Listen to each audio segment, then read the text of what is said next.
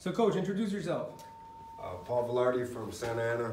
And here you have Manny Duran. Manny, are you related to Roberto Duran? I am yes, long distance family for sure. That's badass. Hey, his dad was Mexican. Yeah. So he could had family in TJ, man. He- That's, that's where I'm from. Hey, I wish this fight was in TJ, not New York. I like TJ. You like TJ? I love TJ. Alright, oh That's my God, second man. favorite It's city. dangerous, man. Nah, not for me. Attaboy. So let's talk about this. Canelo takes care of business tonight.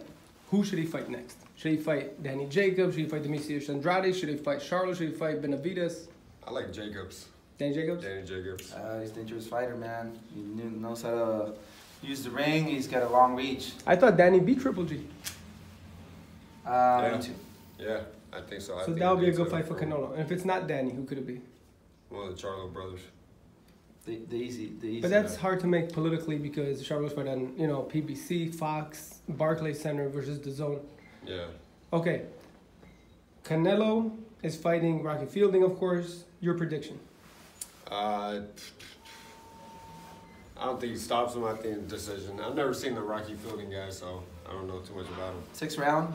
Six round. Not too early, not too late. okay. Adrian Broner, Manny Pacquiao. Pacquiao. Uh, I, I want Broner. I like Broner. I like that guy. And then the last one, Mikey Garcia, Errol Spence. Today's Mikey's birthday. I think he's 31 today. Happy birthday, Mikey. Um, man, that's tough because Errol's so good, so big. But yeah, probably Arrow. Uh, I like Mikey. I want Mikey. I hope he makes my magic happen that night. It'll be epic. Tell people where to follow you on Instagram, Manny, if they're watching. Uh, Manny underscore Duran. And where they follow you. At Polyboxing. All right. Napoli Malinaji. Stay tuned. VSReport.com. I sit back reporting.